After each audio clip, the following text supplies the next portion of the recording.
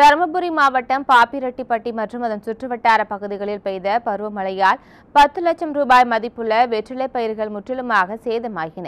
களத்தூர் கந்தகவுண்டனூர் டிஐஎம்பட்டி தாளநத்தம் குரும்பட்டி ஆத்தூர் உள்ளிட்ட சுற்றுவட்டார பகுதிகளில் ஐம்பது ஏக்கருக்கு மேல் வெற்றிலை பயிரிடப்பட்டுள்ளது. அண்மையில் பெய்த பருவமழை காரணமாக வெற்றிலை பயிர்கள் சேதமாகியிருப்பதாக வேதனை தெரிவித்துள்ள விவசாயிகள் பத்து லட்சம் ரூபாய் வரை நஷ்டம் ஏற்பட்டுள்ளதாக கூறியுள்ளனர். பயிர்கள் சேதமானது குறித்து மாவட்ட நிர்வாகத்திடம் முறையிட்டால் வெற்றிலை பயிருக்கு காப்பீடு கிடையாது என அலட்சியமாக பதிலளிப்பதாகவும் விவசாயிகள் வேதனை தெரிவித்தனர். பத்து லட்ச ரூபாய்க்கு மேலே நாங்கள் செலவு பண்ணிக்கிறோம். ஃபர்ஸ்ட் வந்து கொடி வச்சு இந்த கொடியை நாங்கள் வளர்க்குறதுக்கே எங்களுக்கு ஒரு வருஷம் ஆகுதுங்க சார் கொடியை வளர்க்குறதுக்கே ஒரு வருஷம் ஆகுது.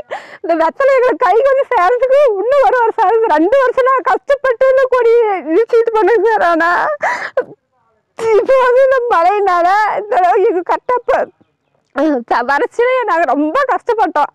ஆனால் இந்த மழை வந்து கடைசியாக எங்களுக்கு இந்த மாதிரி ஆச்சு. இப்போ ரொம்ப கஷ்டப்படுறோம். ஏதாவது பண்ணீங்கன்னா எங்களுக்கு இதுக்கு மேலேயாவது எங்களுக்கு கை கொடுத்து எங்களுக்கு கொஞ்சம் உதவியாக இருக்குங்க சார் கவர்மெண்ட்டு சேதமான வெற்றிலை பயிர்களை வேளாண் அதிகாரிகள் நேரில் பார்வையிட்டு உரிய இழப்பீடு வழங்க நடவடிக்கை எடுக்க வேண்டும் என விவசாயிகள் கண்ணீர் மல்க கோரிக்கை வைத்துள்ளனர்.